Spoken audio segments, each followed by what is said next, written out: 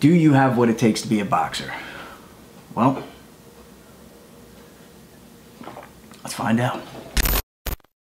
I've been feeling the viewership on this video is going to start off strong and then drop off real quick, but we'll see.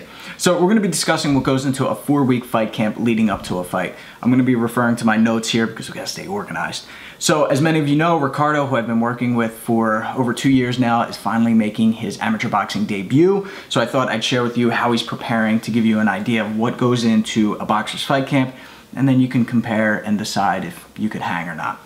So this is going to be a four week fight camp, uh, but we're gonna start five weeks out from the fight day. This way he has one week to focus on recovery and strategy. This way his mind and his body is at 100% top shape, peak condition, ready to go. All right, now that being said, I don't believe in fight camps in the sense of taking time off before or in between fights. Ricardo is always fight ready. We just ramp up his training to competition level five weeks out from the fight. So what I'm saying is you can't get ready for an amateur boxing match in five weeks time. You wouldn't even want to you're gonna get smoked. Um, you probably won't even be able to get your registration in order and get your passbook in that time, um, which by the way, I did just release an article on the Fight Tips Team Network, so if you remember on there, you can go on that article and it step-by-step -step covers everything that you need to know, what you need to send in, how to register, getting your physical, uh, passport photos together, all of that so that you can get your amateur boxing book as a fighter, and then I also break down on how to do it as a coach, all right? Uh, that being said, we are going to talk about when is a fighter actually ready for their first fight. But I don't really base it on an amount of time for when a fighter is ready so much as their level of skill. So the short answer on when is a fighter ready to make their amateur boxing debut is when coach says so. The long answer is when a fighter is able to listen and follow direction during hard sparring. The second is when a fighter is able to spar and hold their own or beat someone who has at least one win under their belt.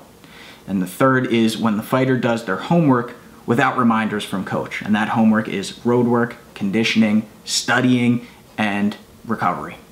The homework that I'm referring to here is in addition to the five boxing training sessions that we do per week.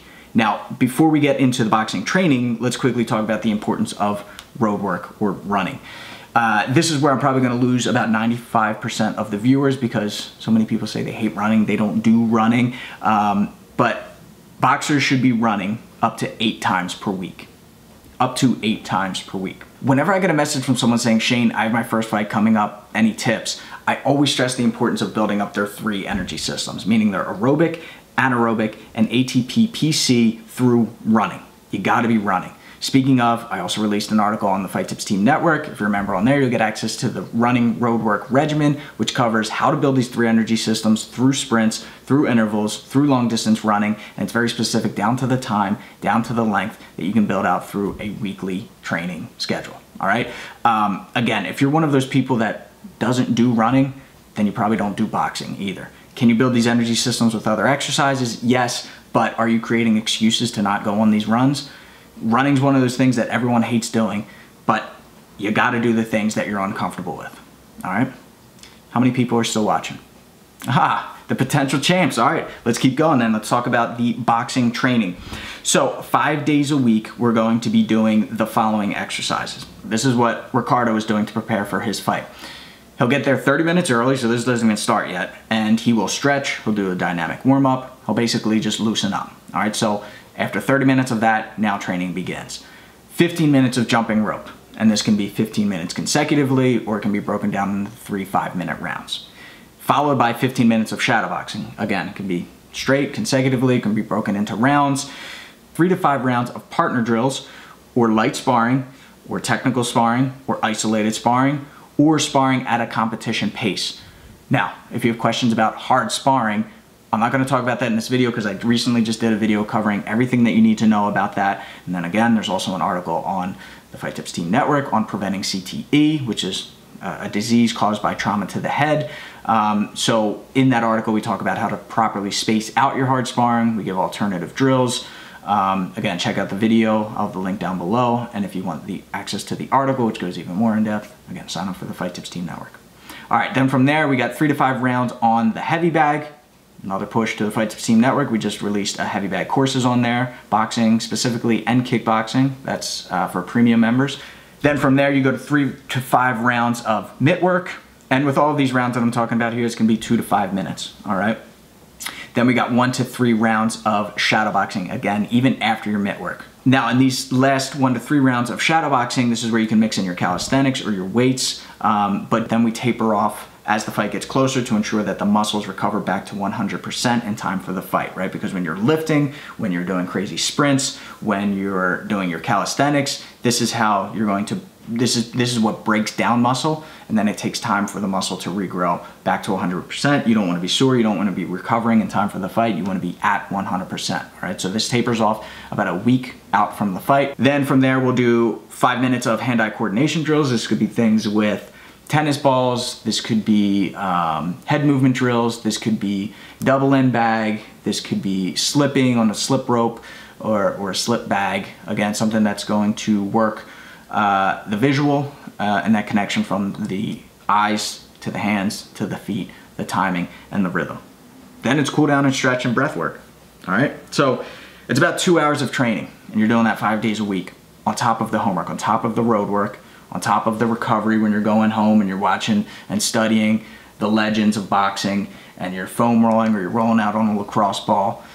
So all of this, you know, often it's it's two times a day that you're training. All right. So this is what goes into it. This is what Ricardo's been doing. Again, it's it's very systematic. Um, it's a, it's a balance of training hard, recovering hard, um, staying hydrated, and uh, and we didn't even talk about that. We didn't even talk about water loading, but I'll have a link down below on, uh, on cutting weight and that type of thing. All right. So that's basically what goes into it. Well, that's, that's a portion of it. We didn't even talk about the mental side. We didn't talk about the, the dieting. We didn't talk about uh, committing committing the time to all this. But again, it's uh, it's one of those things where when a lot of people watch a boxing match, they're like, I could get in there and do that. And it's like, all right, well, here's what you got to do. And usually when you break it down, usually when the word road work or running comes up, that's when they're like, ah, actually, I, uh, I got a thing I got to do. so thanks for tuning in, guys. Uh, I know a lot of information in this video, um, but hopefully it answers your question. Hopefully a lot of people are, uh, are excited by it. And uh, please join the Fight Tips Team Network. Um, like I said, there's a lot of really great resources on there. Um, a lot of great fighters on there. It's a very positive community on there. No trolls, no negativity. We'll never sell your information. There's never going to be any ads or anything like that. Okay. Um, a lot of people ask, how can I train with you, especially now that you're out in Pennsylvania? Um, and with all the, the traveling that I'm doing, it's hard for me to commit to anyone. But I will say this, that if I see people who are very serious about their training um, and really want to take uh, their competition to the next level, and even if it's just getting started, like I said, Ricardo still hasn't even competed yet. Um, as long as you're dedicated, I'm going to keep an eye out on the Fight Tips Team Network. And we have a feature on there where we can see people who are in your area. So if you're nearby me, you're in the Pennsylvania area, the Jersey area, the Delaware area, and uh, I see that you're keeping up with your training, that you're serious about it, I'll reach out. All right?